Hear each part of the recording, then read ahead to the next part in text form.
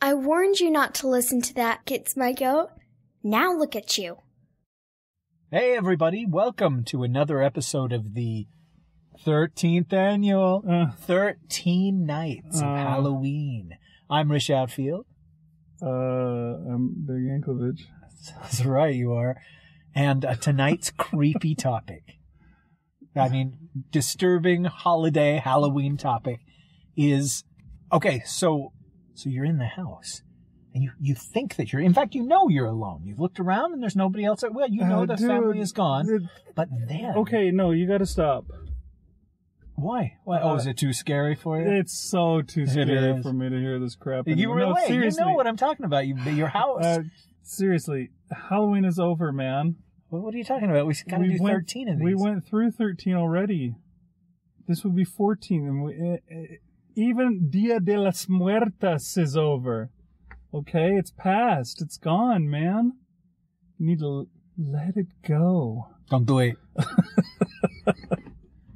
yeah, but we got together. I mean, what what are we gonna do if not Gonna have to- record? It would be we'd have to talk like human beings. Come on, man. Yes, we will have to do that, which is unfortunate. I uh, I do admit, but Halloween's over and done with, man. It's time to move on. We can do thirteen somethings of Thanksgiving if you want. Thirteen afternoons of Thanksgiving. Thirteen afternoons of Thanksgiving. okay, so we're gonna talk about. Can we still talk about pumpkin pie, or is that Yeah, pumpkin spice. Just every every episode is about pumpkin spice. No, we're going to talk about something else. It's time to move back out into the realm of normal that gets my goat episodes. What do you think of that? I'm not sure I know what normal is anymore. Uh, you know what I wanted to talk about? I spent Chlamydia. Yes. I spent an afternoon at the doctor's and they gave me some antibiotics. No, I spent the like the entire summer watching a television show trying to catch up to where I would be ready to see the new episodes when they started up this fall. Ah, I I hate to let you know, but Honey Boo Boo has been canceled. What? Ah. A sad day for degenerate buckets of crap everywhere. Yeah. This honey boo boo thing, I know nothing of it except via what you say about it. I'm so glad that I don't know anything else about it, but I don't understand how you know so much. This has now turned back into a 13 Nights of Halloween scary discussion. No, actually, I've been watching Agents of S.H.I.E.L.D. Um, sadly, I think I saw the first two episodes back when they aired originally last year. Yeah, we talked about him. We did an episode. We did him. an episode about them. We talked about them, and then I got behind, and I got so far behind that I couldn't catch back up because you know I get my uh, TV shows from Hulu, and they only some shows they keep all the episodes of. This one they did not. Mm. It's the ones where they only give you the, basically the ones that are available online. And I couldn't catch back up to uh, know what was going on. And so I got discouraged and I stopped watching it. And then I, uh, I decided I would find a way to catch back up. And so I did. I found a way. Yeah, I see. I had the exact same experience with the show Fringe and the show Arrow. I think we watched them on Hulu, and if you didn't watch them like fairly Regular. recently after they aired, they would drop off and be replaced by a newer episode. And once I had missed like two episodes, I was like, "Oh no!" and and I stopped watching the shows altogether. But um, how did you end up watching um, Agents of Shield? Well, Because I, you had told me that you'd watched it, and I told my cousin, "Hey, Agents of Shield is available on Netflix now." Because my friend watched all of them. He sat down with a an adult diaper on, and he watched them all. And, and he went on there. and He says, "You're lying. It's not on there." we'll just say that I watched them. Oh, I don't want to incriminate. I'm going to plead the fifth on that question, but I watched them. Now that I'm caught back up, though, I watched them on Hulu, um, again, and uh, recently we came really close to uh, falling behind again, because basically we watch them Sunday afternoons. Me and my whole all my family's been watching them with me, and they enjoy them a lot. So we'll get together and watch them all together. But because we're watching them together, we won't watch them otherwise. You know what I mean? Because we basically my wife won't let the kids watch them by themselves, and we won't watch them without the kids, kind of a thing, because it's our family thing to do together. And so sometimes Sunday afternoons taken up by other things. We'll have a big, you know, all my extended family's getting together for dinner, so we don't have a the ability to watch. We get together with Brian day. Lincoln to do. Yeah, we got together with Brian Lincoln. I, I missed an episode that night. They actually watched it without me that time, and then I watched it later on that week. But that kind of stuff uh, happens relatively often, and so um, we we came close to to getting too far behind again, but we just caught back up, and I'm now completely caught up as of last episode Tuesday, I think it was. So a week ago's episode now. There's a new one tomorrow. But yeah, I'm caught up as far as that. Well, you're beyond me then, you know, because I've only seen the first three episodes of season two, and so um, however many there have been. I think there's six more, so far. So you're But, uh, three behind. But I actually watched the first season, you know, as it aired, not on television, you know, DVR'd, but would watch them fairly close to when they were released. And so I was able to share with the people on Facebook and the people, you know, on online that were complaining or that were excited about certain twists and turns and all that. And so your experience and my experience had to have been very, very different. I watched it over a period of, you know, 25 weeks or so or Mhm. longer. And you watched it probably within a month, right? Yeah, it was pretty quick. We would watch about three episodes a week as we were watching them. Each Sunday we'd sit down and watch a bunch in a row. And so yeah, I don't know how many episodes there was in the first ep- first season, but we saw them within like a month, month and a half probably. Really close together. when uh, you know there there were a lot of people who stopped watching the show who tuned in to the first episode the first episode had really really good ratings and it never got that high again there were people i think that felt like it was going to be avengers the series because that's kind of how abc promoted it they'd show like shots from the avengers with thor and hulk and all that in the tv commercials to make you think that that's what the show was i guess and so there were people that had expectations that it would be one thing, and and then there were a lot of people that felt like the show was really weak too. See, I, I made it through both seasons of Dollhouse, and you know my my loyalty to Joss Whedon would is pretty high, and so I continued watching it, even during the time periods when people are like, "Oh, I'm done with the show. The show's no good anymore," um, because I I still felt like every single episode had something to offer and I would like laugh or or be interested in every single one. There were a couple episodes that weren't great, but I never felt like it was just awful. I never felt like it was bad enough for me to not tune in the next week. And then uh, there was a shift during the show when suddenly the quality started to ramp up. At least that's how I felt it. And there were a lot of people that was like, nope, they lost me. It's not worth going back for. Uh, but then there would be other people that was like, oh, hey, I tuned in and it was good again. Or it was better than it ever had been before. How come it couldn't have started out this way? Uh, and by the end of that first season, I thought the show was great. Um, yeah, I really enjoyed it. I remember you you said the same thing to me once. I think I told you, "Oh yeah, we've just seen this episode here." And you're like, "Oh, well, you're past all of the week episodes and only they only get better from here on out." And uh, yeah, I totally agreed. I I like that we get cameos here and there from uh from people that are actually, you know, Marvel Cinematic Universe people. Like there was the episode in which Sif made an appearance, which I thought was, That was a great episode. totally rad. Uh, and we've seen cameos from people like uh, Nick Fury, Maria Hill. Maria Hill, and of course, Coulson is the main character.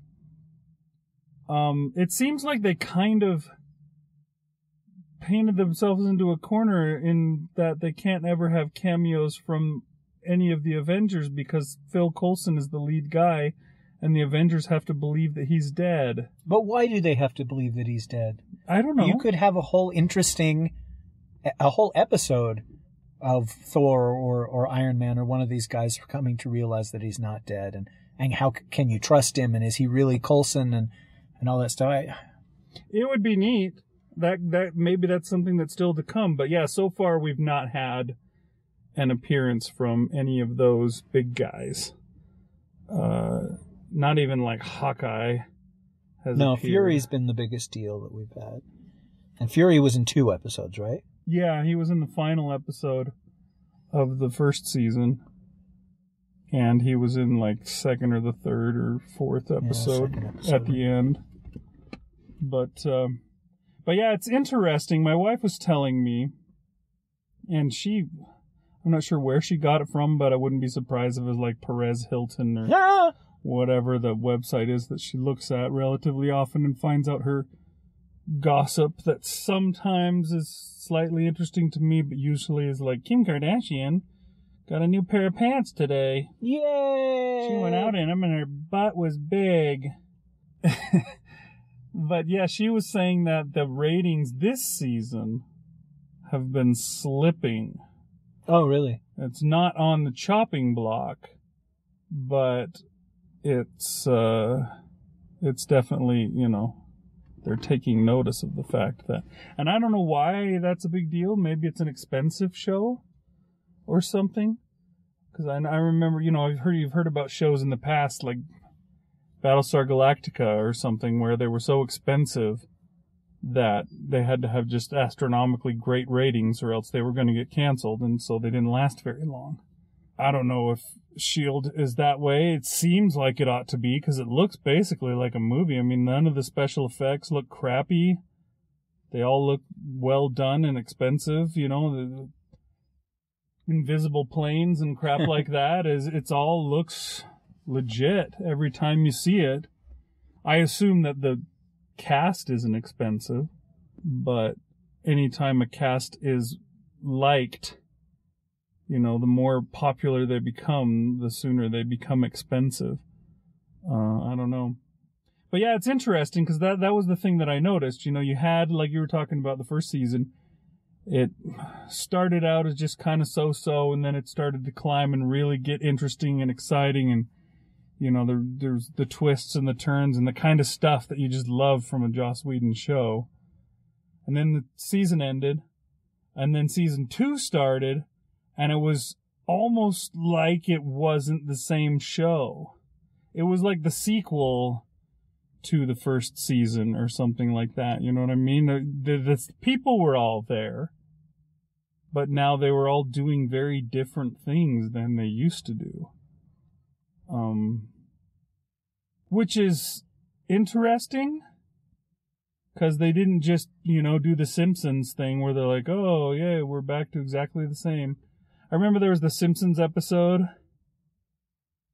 that uh, always made me laugh where the street dude, the the bum, they find out he was the guy that actually created Itchy and Scratchy, and uh, they wind up closing down Itchy and Scratchy, and and then Bart and Lisa are trying to figure out how they can save it and get it back, and instead this like look-alike Bart and look-alike Lisa are the ones that figure it out and save Itchy and Scratchy, and then there's this whole, wow, how are we going to go back to being the same as we always were? And then you see, they look out the window and you see like the look-alike Bart is like skating by on a skateboard, and it's like, da, da, da. Scary sound. But that's what you used to get with shows, you know what I mean? You get that every every single episode could be placed anywhere in time kind of a thing. And you know, things happen and things are interesting, but you don't do a whole lot of changing, you know, the the main thing. You got your team of your how many people were there? Six? Seven? And then you have Fitz and Simmons. You got Ward and May. And Coulson and Skye. Skye, and is that it? I think so. Okay, so there were six. The six main folks you generally don't F with. But they effed with all of them. Every single one of them got effed with. And this new season starts and everything is different and very un- I, I can understand that some people might be turned off by it because it's not the same as what it was before. It's not like the plucky group that gets together and performs their missions and does their thing. The group dynamic that they had built is gone. You know, one person had this thing happen, the other person's got brain damage, the other person is doing this thing, and it's. I don't know. It's interesting that they did that drastic of a of a shakeup at the end of season one, going into season two. And I don't know if they're ever going to try and bring it back to the way it was before. Uh, they keep introducing more new people. We've got Triplett, who has become kind of a, I guess, late in season one, he came in and kind of became a deal, and he's still coming back. And they're even bringing in all sorts of new people. I saw a thing on one of those websites that tells you crap. Paris Hilton. it wasn't Paris Hilton though, but it was. They were saying that somebody was contracted to be Mockingbird, mm-hmm. Who is a character that I've never heard of but does exist already. and the person that's playing Mockingbird was the girl that was Wonder cast Woman. as Wonder Woman in the show that never made it. Mm-hmm. And she was also Lady Jaye on the uh, G.I. Joe movie that I saw. Retaliation, I think it was called. Yeah, Adrianne Palicki is her name. Yeah. But got- she hasn't shown up yet. The... she has shown up now in the episodes that I've seen. Oh, okay. So, But see, I, I was, I kind of want us to go back and talk a little bit more about that first season. okay, we'll go back and talk about it. Where would you say was the high point of that first season? And, and would you, was there an episode you can point at and say that was the turning point when suddenly the show was really, really good? Skye in the red dress. Oh wait, sorry. Uh, I think that was the episode after you stopped watching it the first time around. If I'd gotten one episode farther, I'd have been like, "Oh yeah, I'll stick with this." If only I'd stuck through one more episode, I totally would have been hooked. No, uh, what was where was the turning point? It's hard to say. I'm trying to remember the sequence of of things in my head. Although I probably might remember it better than you because it's more fresh. But I think because I watched it so fast, it might be less segmented or whatever, if you know what I'm saying. Sure. Well, let's let's just agree that the low point of the first season was all that stuff about uh, Skye's hacker organization and what what was it called? The Something rising Dawn? tide. Rising Tide, and oh, does that mean that she's bad? And oh, geez, that Rising Tide stuff went nowhere. It, it was just crappy filler, man. Yeah, I, I'm trying to think. I think maybe, maybe about even mid-season somewhere. I, I remember when they brought Mike Anderson, Peterson, whatever that guy's name. I can't remember what it was. Mike. Mike something. Peterson, I think Is it. Peterson? But he was in the very first episode. Right, but he was gone for like 10 episodes after that before he reappeared. And then you're like, oh, hey, it's that guy. And they brought him back, and then he got captured. And then he started to become, he became Deathlok. That was interesting stuff. I don't know, dude. I can't. What do you think the, the turning point is? Maybe I can Well, see if I agree with you or not. somewhere in the middle of the first season, they finally decided, okay, we're going to answer what happened to Coulson. And I felt like once that had been put away, like the episode following what had happened to Coulson or whatever, I, I started to feel like they're going somewhere. And I didn't know where they were going, but in hindsight, it's easy to see where they were going. They were preparing for the tie in with Captain America 2.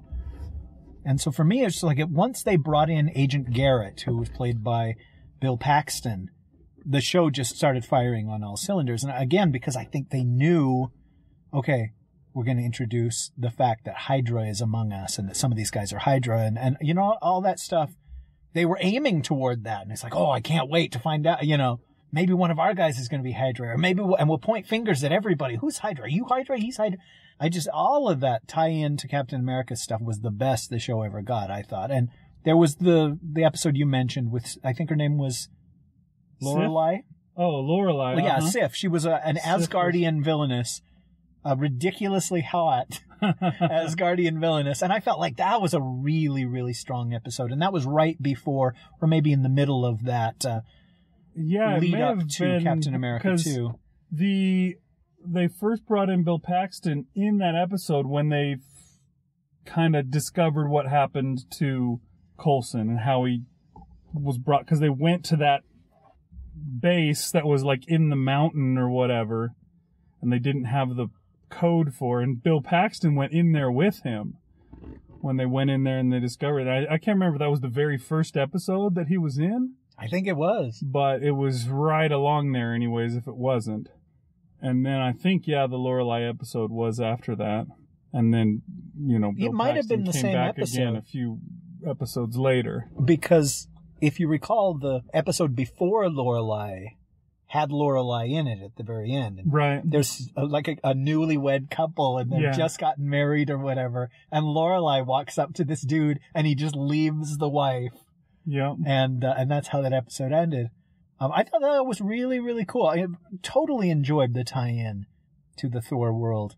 And early, early when Thor 2 came out in the theaters, they had a tie-in episode of Thor that wasn't so good, but it had, um, Pe- Peter MacNicol in it as he was an Asgardian who had retired on Earth or he liked Earth oh and right and, i uh, remember that one but that episode started and they had hyped it up that this is going to tie into Thor 2. And so there was all this speculation of, oh, who's going to be in it and, and what's going on? And are they going to go after that big monster that got left behind in Thor 2? And it was nothing. They were just like cleaning up debris and Yeah. saying, oh, it's a shame we missed this. The, I, I heard there were gods fighting and portals opening up to other universes and, and Chris Hemsworth's giant arms. It's a shame we got here so late. And and that was it. That was it. The whole that was it wasn't even the uh, teaser before the credits rolled. They had put all that crap behind them.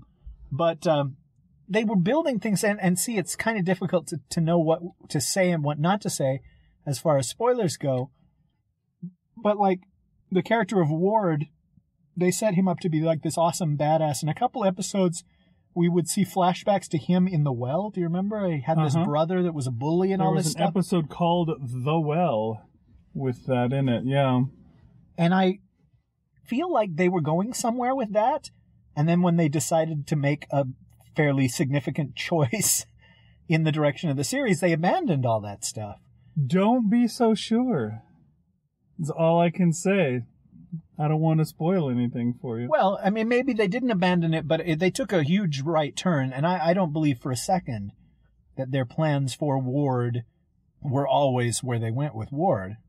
But uh, once that was revealed, holy crap, it was so, so cool. Because it was kind of like when we, uh, we saw Monsters University, and I was like, well, what would we really need is if they didn't get accepted back into the monster, the scaring program and all that. And there were actually consequences to their breaking the rules. And then I was like, whoa, they didn't. They didn't get for, all this forgiven. And, and on that episode, where we're finding out all sorts of twisted turns and awful things going on in the world, I said, you know what would be really, really cool? And that's what happened in the episode. And, and so I was just like, wow, you guys, you guys got me. Thanks for going there. And once, can I just say what I'm talking about? Spoil. Okay, everybody.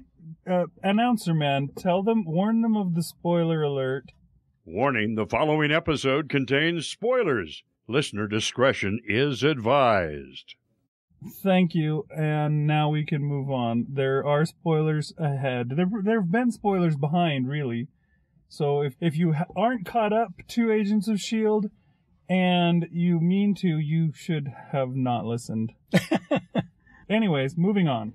Well, you know, in Captain America 2, it's revealed that Hydra has been among S.H.I.E.L.D. Since the very beginning. There have been sleeper agents, people who are actually Hydra who just go along pretending to be part of S.H.I.E.L.D. Until the time comes when they can reveal their many heads. And uh, A- uh, Agent Garrett, who's played by Bill Paxton, is revealed to be one of these Hydra guys.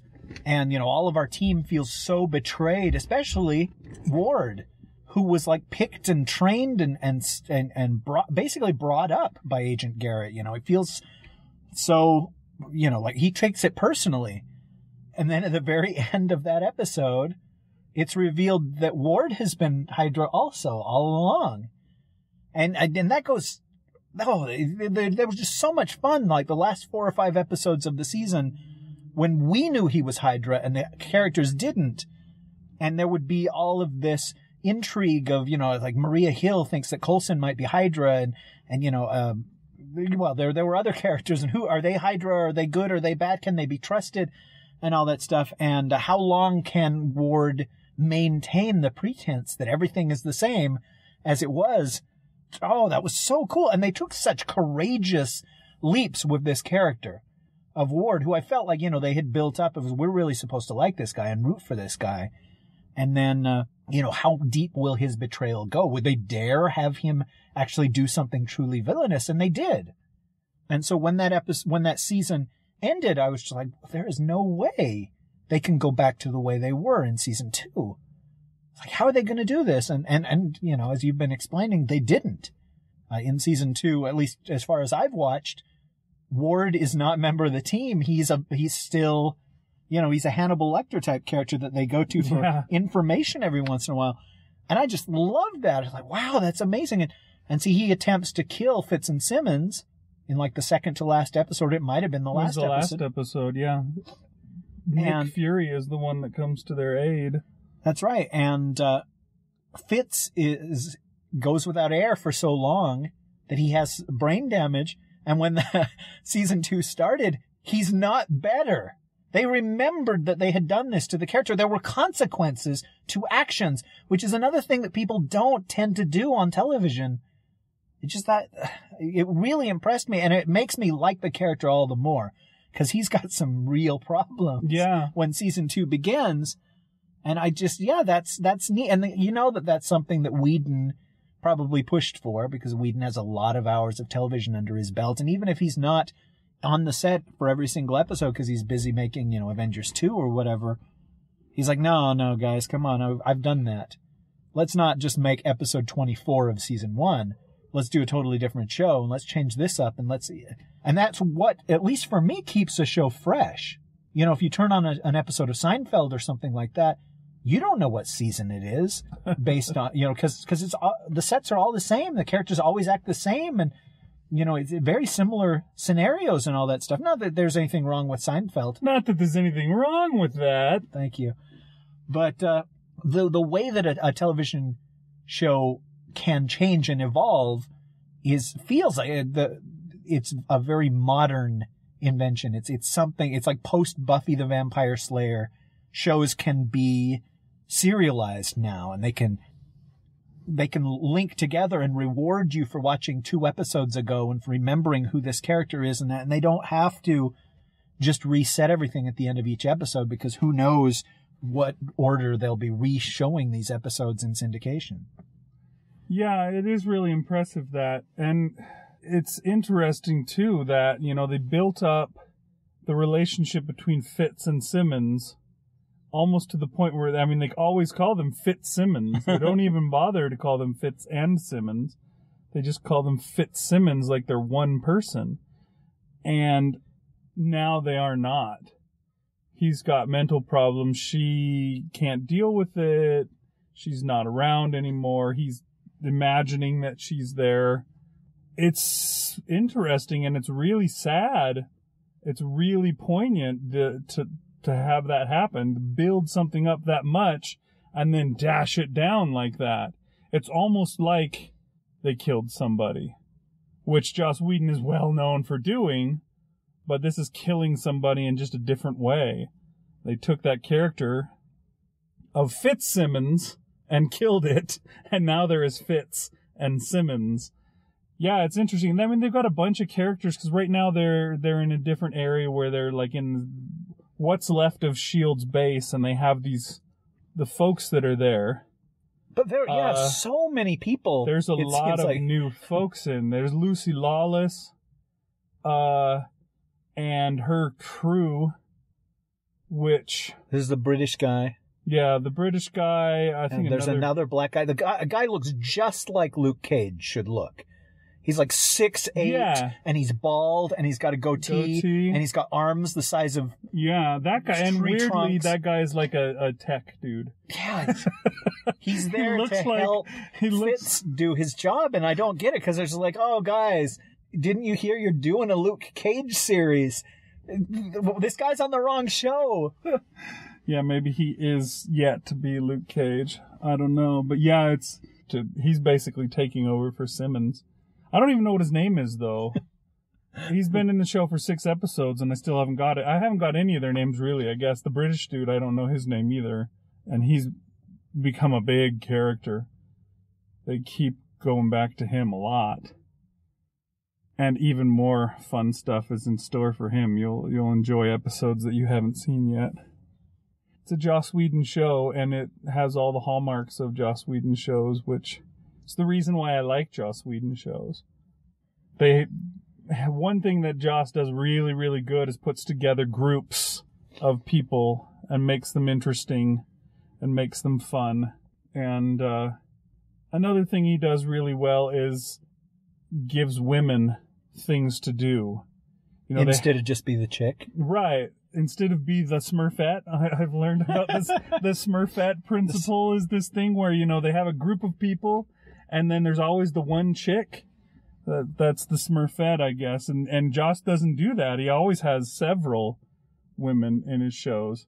There's that thing, and I can't remember what it's called, but it's some kind of feminist test where, like, you see if there is more I think than it's called the Bechdel test. is it yeah. Bechdel where there's like more than one character that's a female that has a name, um, and that they speak to each other but not about, about something other than a man. And yeah, I I think Joss Whedon's shows pretty much every one of them will pass that test by the first episode being over because he's he always has lots of female characters, and uh, you know they get names, they get to talk, they get to say awesome dialogue because this is a Joss Whedon show and the dialogue is always great, and so that's cool. Um, so yeah, it makes it definitely a, a, a sh- a lot of things about it that make his shows worth watching and fun. Well, uh, let me ask you a question. Uh, how many episodes have you seen of season two? Five? Six. There are Six. six. So how would you compare the sixth episode of season two to the sixth episode of season one? It's a lot better. I think that the show, because of all the episodes that precede it, there is so much things, there's so much things, there are so many things that they can harken back to, that they can reference, that they can use, and, uh, and they're doing so. And so even though it's totally different, and it's kind of hard to deal with, I have to admit, to see the show be so different and have such a different feel. You know, you get you watch a show and you really enjoy the the feel that it has, and then you take that and turn it all, you know, you take the Rubik's cube and you mix it all up so that all the colors are on different spots. And yeah, it's not the same thing anymore and, and it can be difficult and I can understand, I guess, why they'd say that maybe the ratings are slipping because I'm sure a lot of people are like, "Hey, this isn't the show that I loved. Where did that show go?" Huh. It's changed a lot. It's not the same. Which Well, in the first season, Phil Coulson has his own little tiny band, a team, uh-huh. and then and they basically just investigate whatever they want. I think Fury had given him carte blanche to go do whatever he wants, whatever he finds interesting. And in season two, he is Nick Fury. He is director of Shield, and he's forced to just be there and make tons and tons of decisions. And he just can't go out and do all this stuff that he did before, which I can see being really frustrating if you're if if the thing that you loved was Coulson and those guys solving a mystery each week. But all the characters are still there, right? they are. I mean, Simmons is now working for Hydra, but it's still. oh, by the way, that reveal was so great because they were playing some awful, like early '60s pop song you know, it's like sunshine, lollipops, and Trojans. And you're just like, wait, what? Because because she's at her new job, and you're like, what is she abandoned Shield for? Like some like lowly, she was an analyst in some kind of thing, you know, and and she's in this throwback like a 60s outfit that a woman would wear to to work to be a secretary. And then at one point, you see the Hydra logo on the wall, just right there, as bright as day. You know, they're not even trying to hide it anymore. It's like, oh yeah, we're Hydra guys. Oh, I thought that that was just great. And you probably know where that's going, but uh, that was really, really neat. Yeah, there's some there's some fun down the line for you. I, I have to admit, uh, we were almost back where you were yesterday.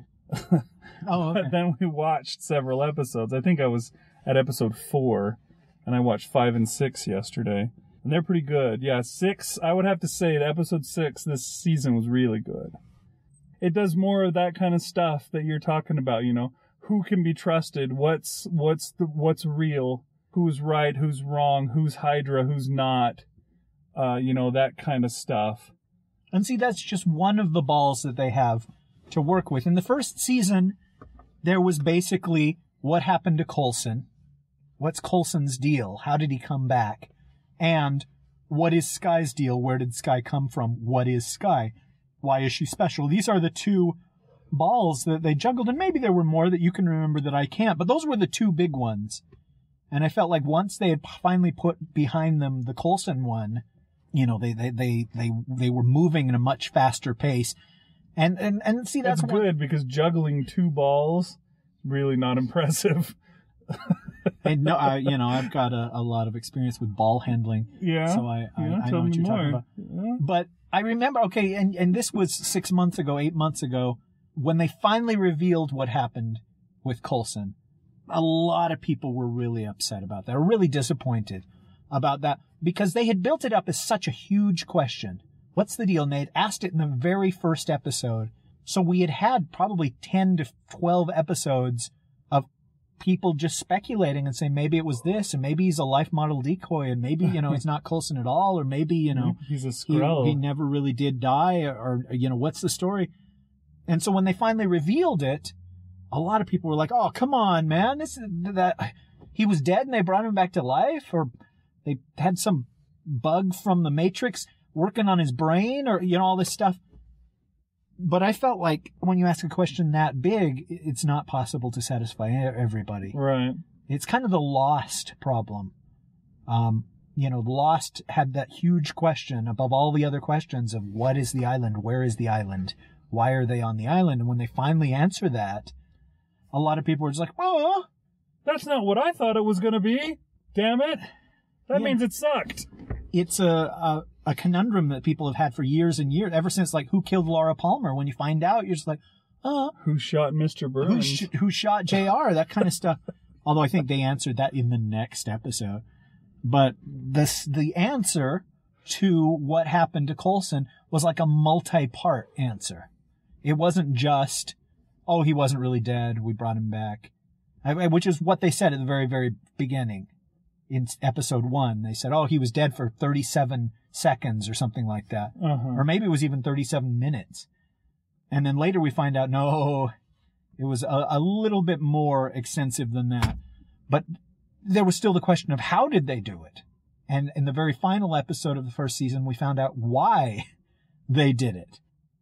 It's just one of those things that that's not really what the show is about. In the same way that Twin Peaks wasn't about who killed Laura Palmer, it was about this weird town and the people that lived in it and the evil that lurked there and this FBI agent who was innocent, sort of innocent and naive, having all of that stuff taken away from him.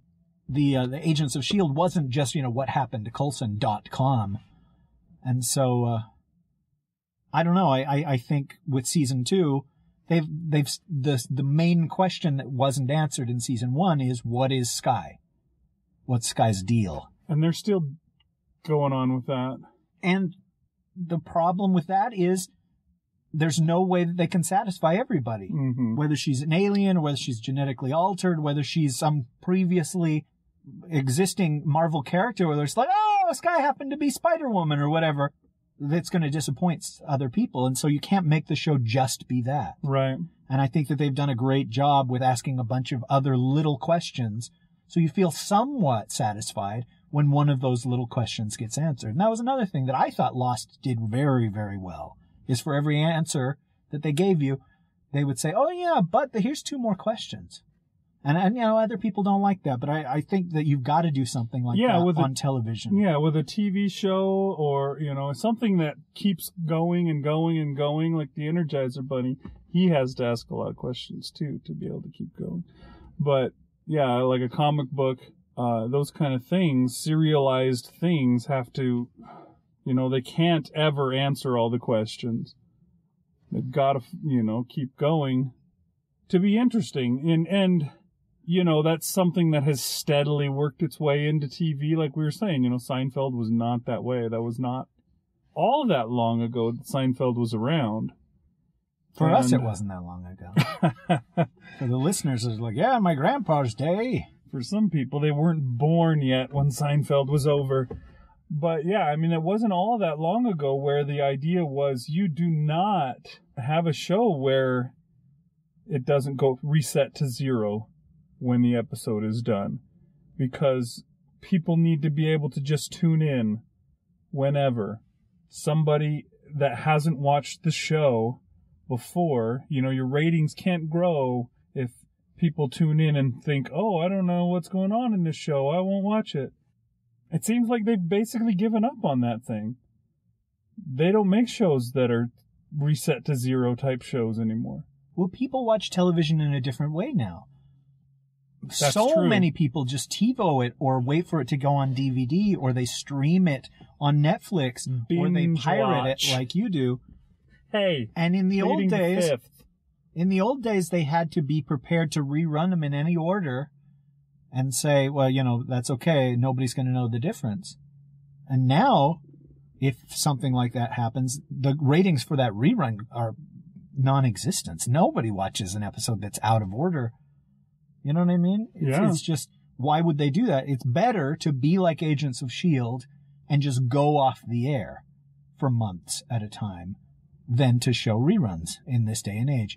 And so, and what I'm getting at is, so, is we actually have the, something, I, as far as I know, it's not been done before. Agents of S.H.I.E.L.D. is going to go on hiatus in a few weeks, and it's going to be replaced by Agent Carter, which is a show set in the 1940s starring Hayley Atwell as Peggy Carter. Uh, that's you know also Marvel Cinematic Universe, and as far as I know, the same people that are work are running Agents of Shield, and I think there's only six episodes of Agent Carter. But once that's run its course, then Agents of Shield will come back. And the very first scene in the first episode of the second season had Peggy Carter in it. It was a Oh, yeah, flashback that's to a- the end of World War II. another And cameo for you. It was that, so uh, rad. yeah. Holy cow. I and it had Dum Dum Dugan. it did. And who else? I And always, the I, Asian one, I guess. yeah, I can remember Dum Dum Dugan's name just because of how goofy it is, I guess. The rest of them, I don't remember their names other than uh, Bucky. But you'll know their names. But three, I three recognize their months from now. faces. You'll know all of those yeah, I suppose and I that's think that probably that's just true. A really neat thing. And to make a mo- a show that's set in the 40s, seems like that seems like a cable thing to do. Yeah, to do it on the main network, I'm excited about it, and I really like Peggy Carter. I think Hayley Atwell is awesome, man. Yeah. And yeah, I'm hoping to see all sorts of uh, of things that you can't have in a show that's set in 2014 on there. Uh, Agent Carter was spun off from a short film that they did called Agent Carter, ironically enough, that just showed, you know, what her life was like after World War II was done. And now suddenly she's a woman and they're second class citizens. And she had all of this authority and all this ability during the war. But once the war is done, then women are expected to know their place. Yeah, they're supposed to get back out of the factory and go back home and start having babies. And uh, booming, booming with babies. I thought that that was really, really interesting and unique. It had Bradley Whitford in it as like her boss, who was really sexist and like slapped her on the ass and stuff, as you do. And, and I just, I thought that was really, really neat. And apparently a lot of people thought that it was really neat because they felt like we could spin this seven minute thing Into, into a a- seven-hour show. Yeah. And I, I wouldn't be surprised if they bring Agent Carter back next year too, I in the exact so. same way. Or it just depends on the- like it. Yeah, that's true. They might decide to go another way. And, and in 2015, we're going to have four, five, right? Marvel, uh, What will they be? Is that will Daredevil? yeah, Daredevil, the- all those Iron Netflix Fist. ones will be uh, available now. So it's Daredevil, Iron Fist, Power Man five thousand. What is his name? Is it Uh, Luke is Cage, it Luke I think Cage is what, they're they'll call calling it? it. They could call it Power Man, but I he's more known Luke by Luke Cage now. But they And then- probably throw in Power Man like they've done in the Amazing or the Ultimate Spider-Man. Well, P- Power Man is his name, his superhero name. Luke Right, Cage's yeah, name. that's what he calls himself. He's like, well, then I'm gonna be Power Man, and uh, yeah, And then the fourth one is uh, Jessica Jones, which was based off a comic called Alias Jessica Jones, but I don't imagine they'll call it Alias. and uh, there's another show called that. well, probably, and you know, uh, and then all, when those have all run their course, No, those are all Netflix shows. those are all though, right? Netflix shows. There's going to be a crossover series called The Defenders. That's all four of those guys uh, on a team, along with whoever else they introduced during those series. And oh boy, that is some exciting stuff. These announcements. It is. You know, the, The- the thing that they do supposedly with Netflix series is they do the entire series and then they just release it as one Yeah. giant dump. See, I hate that because if I choose to watch one episode at, at a time, you know, the people on Facebook or whatever will be saying, "Oh, episode six was really, really good. Did you see that full frontal nudity?" And uh, oh, it was good then. and I'll be like, well, well, well, that doesn't, I don't see that for five more weeks. But uh, that's just me. Most people, they say a lot of people really binge watch shows now. Yeah, it's a it's a thing. Somebody I know at work, you know, the last person I would expect to be a person that just sits at home all weekend long binge watching a TV show. You know, absolutely gorgeous woman that should be like I don't know what gorgeous woman out dancing in the club all weekend long, whatever gorgeous women do. But instead she was binge watching television shows all weekend long, is what I heard. And I'm just like, wow, if that's what this person is doing, then everybody must binge watch TV shows now. But yeah, I'm excited for that. Uh, it'll be fun because when we have all those, then, you know, that'll just be another one that Well- me and all my kids can watch together because we really enjoy that stuff. We might have to get together and do a That Gets My Goat about Agent Carter and get together and do a That Gets My Goat about Daredevil. Sure. I mean, these are really soon that these are happening. But, oh, it's exciting times. You know, I, there's a show on the WB, which I know isn't an- a network, but I always call it the WB. I'm sorry. I, I'm an old guy. Where are my teeth? Called The Flash. And it's based on the DC superhero comics. And I've been watching it, and the father of Barry Allen is the man who played the Flash in the show in the night in 1990. And when I was a kid in 1990, this was such a big deal that they were making a show, uh, you know, based on a comic book. You know, you'd get one of these every five or six years. It was, they were so rare, you know, and, and they never ever worked. You know, Wonder Woman, I guess, got two seasons and it was considered successful Yeah. for that sort of thing. Wonder and the Woman and the benchmark was the Incredible Hulk, which I think got five seasons. And, uh, but that was a miracle. I mean, it's just for some reason they had made the format of the Incredible Hulk such that, that not just geeks watched it, but everybody watched it or whatever. But, um, watching, and I think there were only 13 episodes. Yeah, of, that The Flash. Flash didn't last long. but oh, it was so exciting to see something like this. And you know, I hadn't, I didn't know who the Flash was. Maybe you'd seen him on the Super Friends cartoon or whatever, but he he just didn't seem like that dynamic a character. But there was a hunger for that stuff in 1990. You know, 1990, Dick Tracy came out, It was right Dark after the, Man came out. the Batman film had just come out like And- the year before. yeah, even in the cinema, it was really rare to get one of these comic superhero properties. Now, every network has one, except for CBS, but F. And it's just, it's so weird that, you know, it's, it's the bread and butter. And we were talking about how many superhero movies are in the theaters now or about to hit the theaters. Hold on. And and we yeah, we'll we can We're talk about that. We're doing a whole sometime. episode about this, so don't But- don't shoot your wad early. Uh, but anyhow, uh, the, the point I was just trying to make is we are these are really amazing times for geeks and for superhero fans, comic book fans, and all that to have this much thing. It's just a plethora of it's a an embarrassment of riches. And so yeah, mostly this was talking about Agents of Shield, but uh, I did just want to end on that. That uh, it's amazing. I mean, if you don't like Agents of Shield, there's five other superhero shows. Yeah, we may do shows. episodes about them as well. I've started watching Flash with my kids. We're on episode three. I think there's four already out, so I haven't seen that fourth one yet. Uh, Gotham, we have also been watching together, although we've only seen two episodes, and so far nobody's really keen on Gotham, so we may wind up not seeing all of that. There's Arrow, of course. Arrow, my which I kids think, have watched. season. I think they've watched the first few seasons because they were available on uh, Netflix, but not the new episodes. They, they there was some one of those disconnects where you know they weren't able to get to the time you know get through the ones that they needed to see before they got to the ones that were on. So they're a little bit off on that. And, uh, what is there? There's Constantine, Constantine. right? We I saw That's that. on NBC. Yeah. That's a DC. Ca- I don't know Constantine. That's a DC character. yeah, I think the comics were called Hellblazer, but John Constantine is the main character in those. And, uh, And so they, he's a guy that fights demons and whatnot.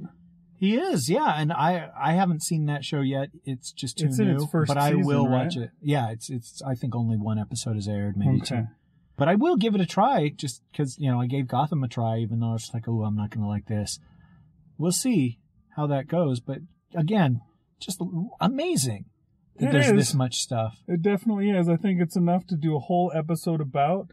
And so, yea, verily, we will. Maybe it'll even be the next episode, although probably not, because we got a few in the can ones that need to be let out of the can. We'll see. All I right. guess it depends on what Rish is most excited about editing. That's a good point. Uh, is there anything more you want to say, say about Agents of Shield? Oh, it's awesome. You should watch it. I think you would enjoy it. Even if you're like, oh, I'm every show is going to have ebbs and flows.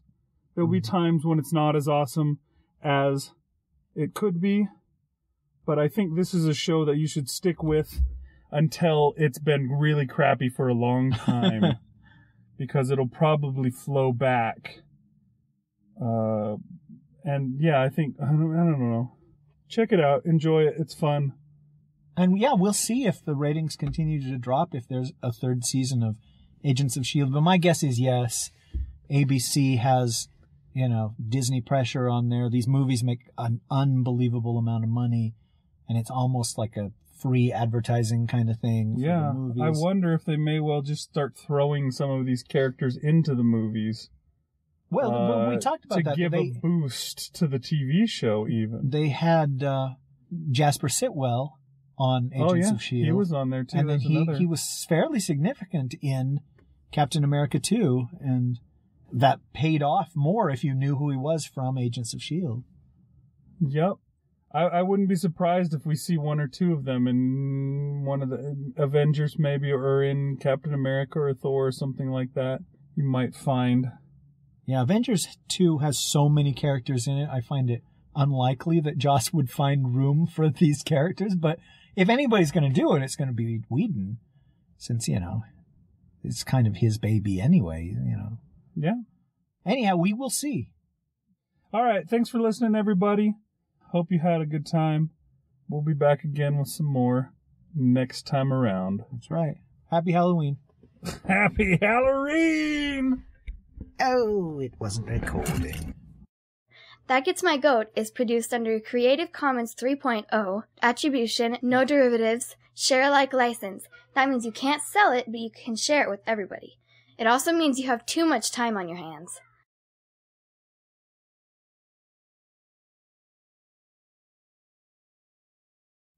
Okay, so you you you think that you're alone. In fact, you're in the house. You know that you're alone.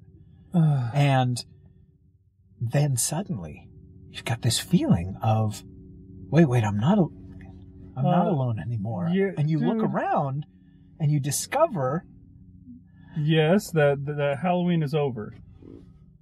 all right, No. didn't have anything there. I just, I wanted you to interrupt me earlier. Oh, okay. That's where I was going. I was doing like uh, uh, stuff, but you wanted me to interrupt even sooner.